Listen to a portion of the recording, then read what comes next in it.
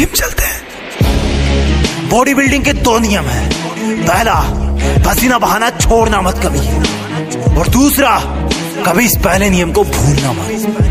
क्योंकि सिर्फ़ एक डिक्शनरी वो जगह है जहाँ पर बॉडी बिल्डर हार्ड वर्क से पहले आता है। सुनो, जवान होना तुम तो जवान की तरह दिखो। डेली का एक घंटा पसीना बहाना तुम्हें भीड़ से अलग बना सकता है और एक घंटा पूरे दिन का सिर्फ़ चार परसेंट टाइम होता है। रिज़ल्ट एक रात में नहीं आता। कई वर्कआउट सेशन लगते हैं। रियल वर्कआउट तब शुरू होता है जब तुम्हें लगता है कि मैं थक गया हूँ। अगर तुम जिम करने के बाद भी सुंदर दिख रहे हो ना, इसका मतलब तुमने ईमानदारी से जिम नहीं किया। तुम्हारी बॉडी ही तुम्हारा पहला घर है जिसमें तुम रहते हो। इसकी दीवारें मज़बूत मज़बूत बनाओ। पढ़ाई भी ज़रूरी है, लेकिन बिग बाइसेप भी।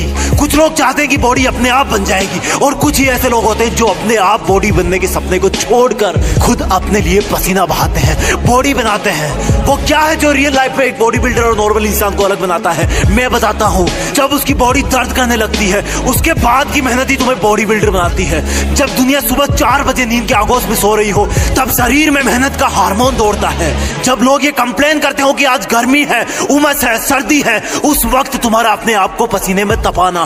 बॉडी बिल्डर एक चीज़ अच्छी तरह जानता है कि दर्द कुछ मिनट या कुछ घंटे का ही है, लेकिन उसको प्राउड हमेशा रहेगा, क्योंकि वो भीड़ से अलग दिखेगा, उसका कॉन्फिडेंस लेवल हाई होगा।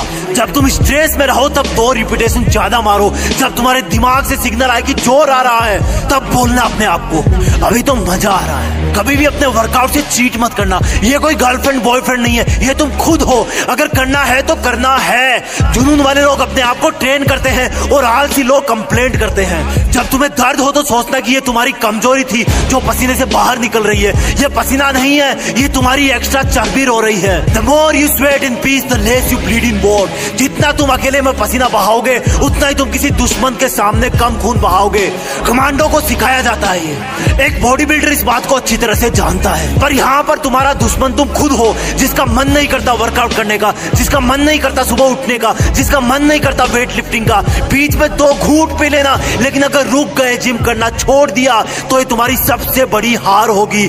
अपने आप से हार जाओगे, तुम दुनिया तो जीत ही जाएगी। फिटनेस का मतलब ये नहीं कि मुझे दूसरों से अच्छा दिखना है। फिटनेस का मतलब ये है कि मुझे अपने आप को कल से बेहतर दिखाना है। जैसा मैं कल था, जितनी पावर मेरे शरीर में कल थी, उससे ज़्यादा आज होनी चाहिए। तुम्हारा हार्ड वर्क ही तुम्हें सिक्स पैक दिला सकता है। आज घर पर बता देना कि मम्मी जिम जा रहा हूँ लेट आऊँगा। रास्ते में जाते जाते सोचना कि मैं ऐसा क्यों कर रहा हूँ? किसने मुझको धोखा दिया है? मेरा किसने अपमान किया है? मुझे किसने सबसे ज़्यादा रुलाया है? और अपनी हर एक्सरसाइज को फिर अलग अलग नाम देना। जब भी पुशअप लगाओ, तब वो दिन याद करना जब तुम्हारे दोस्तों ने तुमको मरियल कहा था।